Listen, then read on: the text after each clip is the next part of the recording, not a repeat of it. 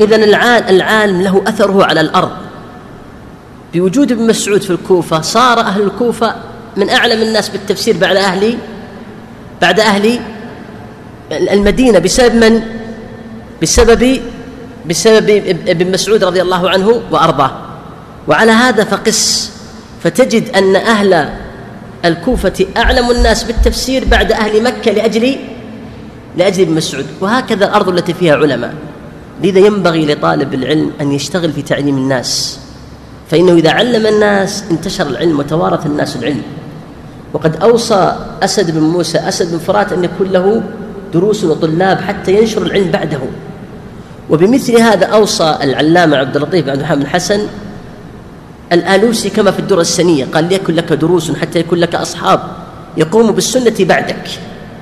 ومما تميزت بهذه البلد أسأل الله أن يعزها بالتوحيد والسنة وجميع دول المسلمين أن أن أنها قامت على دعوة الإمام مجدد شيخ الإسلام محمد عبد الوهاب وصار له دروس وله تلاميذ واستمر التعليم والعلم يتوارث بدعوته رحمه الله تعالى.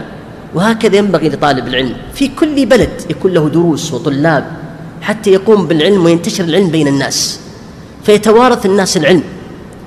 والتأليف خير والتعليم خير من التأليف من هذه الجهة. والتأليف خير من جهة من جهة أخرى والموفق من جمع بين بين الأمرين.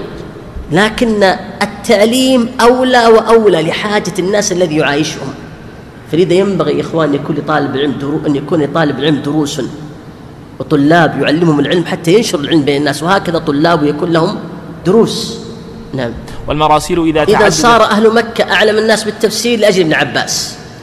وابن عباس كما سيذكر ابن تيمية كان له منزل في حياة ابن مسعود وسماه بترجمان القرآن. قال وقد عاش بعد ذلك.